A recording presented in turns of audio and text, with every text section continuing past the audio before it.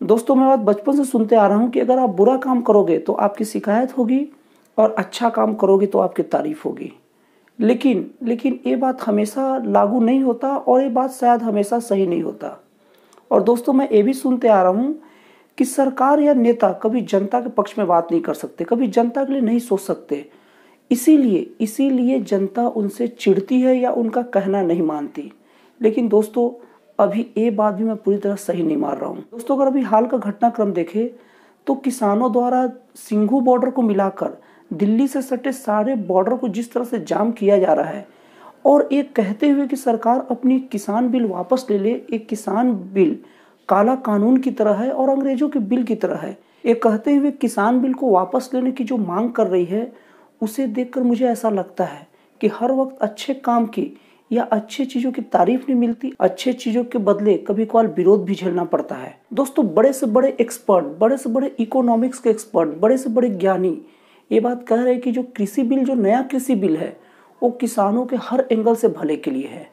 और किसानों का कोई भी अधिकार नहीं छीन रहा है, बल्कि उन्हें एक्स्ट्रा अधिकार दे रहा है। लेकिन किसान इस बात से डरे हुए कि सरकार मंडी व्यवस्था खत्म कर देगी, सरकार आढ़तियों को खत्म कर देगी और सरकार उनका सबसे महत्वपूर्ण चीज़ एमएसपी को खत्म कर देगी। लेकिन दोस्तों, गौर किया जाए, गौर से सोचा जाए तो नए किसान बिल में कहीं भी कहीं भी ये बात नहीं लिखा है कि एमएसपी को खत्म कर दिया जाएगा। और और अभी एमएसपी पर पूरा का पूरा फ़सलों की खरीदी भी जारी है। दोस्तों, नया किसान कानून या नया कृषि कानून को एकदम सरल भाषा में समझने के लिए ऐसे समझते हैं कि मान लीजिए आप कोई काम कर रहे हैं और आपके घर में साइकिल है आपको साइकिल सरकार पहले से दे दी है। शुरू से ही सरकारें द्वारा दिया जा रहा है कि आप इससे अपना काम चलाएँगे।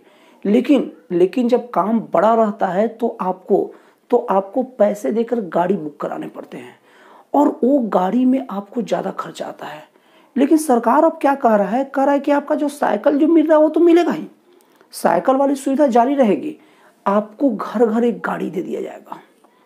और जब आपको साइकिल का ज़रूरत है तो साइकिल से जाइए, और अगर आपको लगता है कि गाड़ी की ज़रूरत है तो आप जो भाड़े पर गाड़ी लेंगे वो आपको महँगा पड़ेगा, क्योंकि अपना भाड़ा, गाड़ी का भाड़ा बहुत सारा चीज़ जोड़ेगा, और आपकी गाड़ी में बस आपको उसमें ईंधन डालना है, पेट्रोल, डीजल जो भी डालना है और चलाना है। तो इससे क्या होगा, जिस टाइम गाड़ी की ज़रूरत होगी तो हम गाड़ी को ढूंढेंगे, उसको एक्स्ट्रा खर्चा देंगे, उससे अच्छा हमारे घर में गाड़ी खड़ी है, चुपचाप गाड़ी में तेल डालेंगे और अपना काम करके आ जाएँगे। सब चीज़ हमारा बच जाएगा। और सरकार कभी भी ये नहीं करे कि आपकी साइकिल भी आपसे ले ली जाएगी। लेकिन विपक्षी दलों द्वारा ये हल्ला उठाया जा रहा है कि सरकार आपकी साइकिल ले लेगी। आज गाड़ी दी है, साइकिल ले लेगी। जबकि सरकार ने कहीं भी नहीं बोला है कि साइकिल लेगी। मतलब कि जो नया किसान बिल है, वो पुराने जो सुविधा दी उसको खत्म नहीं कर रहा है। और सरकार यही नहीं कहता कि आप गाड़ी का यूज़ कीजिए। आपको जब मन है तब गाड़ी का यूज़ कीजिए, जब मन है तब साइकिल का यूज़ कीजिए। आपको जो मन है वो यूज़ कीजिए। आपको मैं गाड़ी दे रहा हूँ इसका मतलब ये नहीं है कि आपको अब हमेशा गाड़ी से ही चलना है। अब विपक्षी पार्टियाँ क्या आरोप लगा रही है कि सरकार साइकिल छीन लेगी और गाड़ी आपको दे देगी? आप जब भी, भी कहीं जाओगे तो आपका खर्चा लगेगा। आपको फ्री वाला सुविधा नहीं मिलेगा। जबकि जबकि सरकार ने क्लियर कह दिया है कि साइकिल नहीं ली जाएगी। तो वही हाल अभी नया कृषि बिल के लेकर है। नए कृषि बिल में सरकार एमएसपी हो गई या मंडी हो गई या आढ़तियों का जो महत्व हो गया सब चीज़ वाजिब रखा है सब चीज़ वही रखा है। सरकार अलग से, सरकार अलग से एक सुविधा दी है कि आप चाहो तो बड़ी कंपनियों से सीधे कांटेक्ट कर सकते हो और उसमें कुछ जिम्मेदार लोग बिचवान रहेंगे। और आप चाहो तो बड़ी कंपनियों से जो रेट में चाहे तो एग्रीमेंट कर लो। तो उससे किसानों को फ़ायदा ये होगा कि अपनी जो फ़सल उगाता है और निश्चिंत होकर उगाएगा। और उगाने के बाद किसान को ये सोचना नहीं पड़ेगा, उगाने के बाद किसान को ये सोचना नहीं पड़ेगा कि मेरा फ़सलों का होगा क्या।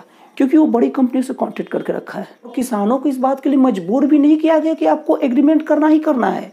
किसानों को वो उनकी मर्ज़ी पर छोड़ दिया गया है कि आप बड़ी कंपनियों से एग्रीमेंट करते हो या नहीं करते हो। और अगर बड़ी कंपनियों से एग्रीमेंट नहीं करना तो छोड़ दो। मत करो एग्रीमेंट क्या ज़रूरत है? आप अपना नॉर्मल जैसे पहले जो एमएसपी था, उस पर बेचो। और किसानों को ये फ़ायदा होगा कि किसानों को बड़ी कंपनियों से एग्रीमेंट कर ले सेटलमेंट कर ले। तो किसानों को सरकार का जो एमएसपी में जो बेच रहा है ना, उससे ज़्यादा मूल उधर मिलने का चांस है।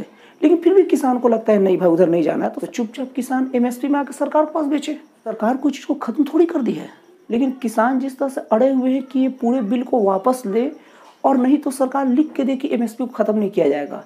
तो मैं कहता हूँ कि सरकार जब एमएसपी को, सरकार जब एमएसपी का चर्चा ही नए बिल में नहीं की है तो उसे वापस लिखकर क्यों दे? वैसे क्या क्या चीज़ लिख के सरकार देगा? और अगर दूसरी बात देखा जाए तो इस देश में, इस देश में सरकार केवल केवल उसकी ही सुनती है और सरकार उन्हीं के अनुसार से चलती है जिनके साथ जनता का सहानुभूति हो। किसानों द्वारा जिस तरह से दिल्ली बॉर्डर को जाम कर दिया गया है, कितने सारे लोग आवाजाही को लेकर बड़े परेशान हैं। दूध, सब्ज़ी, फल, सबकी दिक्कत दिल्ली में शुरू हो गई है। कई कई ट्रकें इस आंदोलन में दिल्ली में ऐसे जगह फंसी हुई है जिनको लद्दाख जाना और लद्दाख में बहुत ज़्यादा ज़रूरी सामान है, बहुत दवाइयाँ हैं। और अगर अभी उस समय पर नहीं पहुँचे तो ठंडी का मौसम चल रहा है, लद्दाख की सड़कें जाम हो जाएगी। फिर उन लोग तक तो दवाइयाँ पहुंचाना बहुत मुश्किल काम हो जाएगा। और दिल्ली के खुद, दिल्ली के कई लोग, कई काम करने वाले इधर उधर नहीं जा पा रहे हैं। तो इस तरह से तो इस तरह से उनके मन में किसानों के प्रति सहानुभूति नहीं, किसानों के प्रति एक छिड़ पैदा हो सकती है। दोस्तों, अगर देखा जाए तो किसानों के लिए इज़्ज़त इस देश में शुरू से ही रही है, एक किसान और एक जवान। लेकिन किसान जिस तरह से इस तरह से बंद करके रखे हैं तो जनता के में उनकी सहानुभूति खत्म होने लग जाएगी, जनता उन्हें परेशान करने वाला या इरिटेट करने वाला समझने लग जाएगी।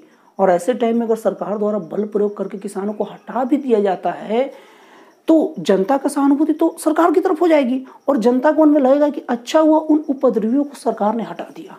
और जनता के नज़र में ये मैसेज जाने का मतलब क्या होगा? सरकार को किसानों से डर नहीं लगेगा, किसान के आंदोलन से डर नहीं लगेगा। और सरकार भी बहुत जल्दी ये बात साबित कर देगी कि वो जो किसान थे, वो गैर कानूनी काम कर रहे थे, जनता को परेशान कर रहे थे और हम जनता को मुक्त कराने के लिए काम किए।